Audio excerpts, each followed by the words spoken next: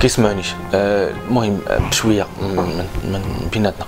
اليوم غنهضروا على المرسيدس بنز 600 بولمان ديال الملك. واخا؟ يلا.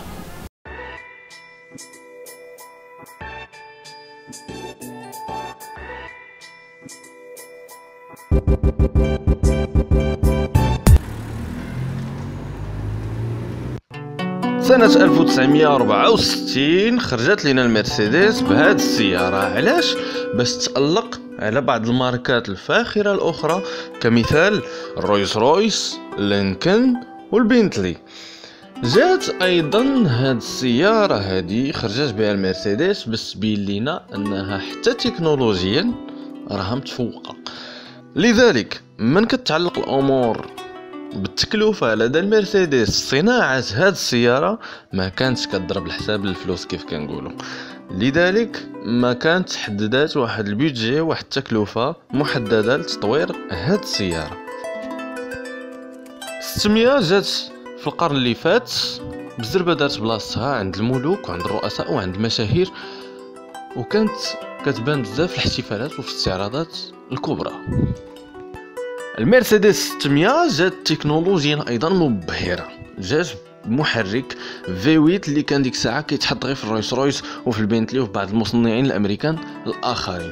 هذا المحرك كان كيتعتبر الأكبر من نوعه في ألمانيا بعد الحرب. جاب بسعه 6.3 لتر و250 الخيل جات المرسيدس بنظام هيدروليكي متكامل كيدعم وسائل الراحة بحال الكراسة بحال زجاجة النوافذ. المرسيدس قدمت 15 براءة اختراع خلال تطوير ال600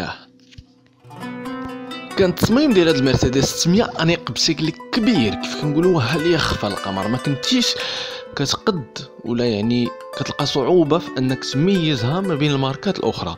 المصمم ديالها برونو ساكو حط عليها لمسات ديال الكروم في النوافذ وفي الأضواء اللي خلاها أنها تربع على عرش الأناقة في ذاك العصر.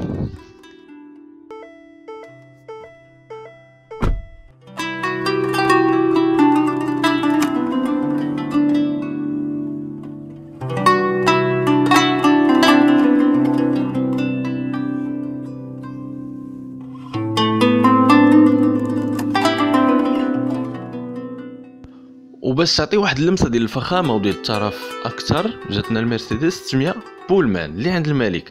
جات بطول 6 متر فاصلة 3 جات بخصائص الفخامة والترف كمثال هاتف ديال السيارة ثلاجة ديال المشروبات ولا تلفازة. وجات أيضا بسيارة مكشوفة للشخصيات العامة ولا رؤساء الدول ولا الملوك. المرسيدس بنز 600 بولمان جات باعداد قليلة وتوقف الإنتاج ديالها في سنة 1981 رغم هذا الشيء تميزات هاد السيارة بالعمر الطويل. كيف كنقولوا حنايا؟ بلانديه وصحيحة. رغم هذا الشيء بهاد الميزات ديال العمر الطويل والعدد القليل تميزات هاد المرسيدس هادي وعطات واحد اللمسة وواحد القيمة مضافة للشركة ولا العلامة التجارية ديال المرسيدس في العالم اللي خلاتها أنها تشهر كسر وتعرف كسر ما بين الأوساط الناس والملوك والشخصيات العامة.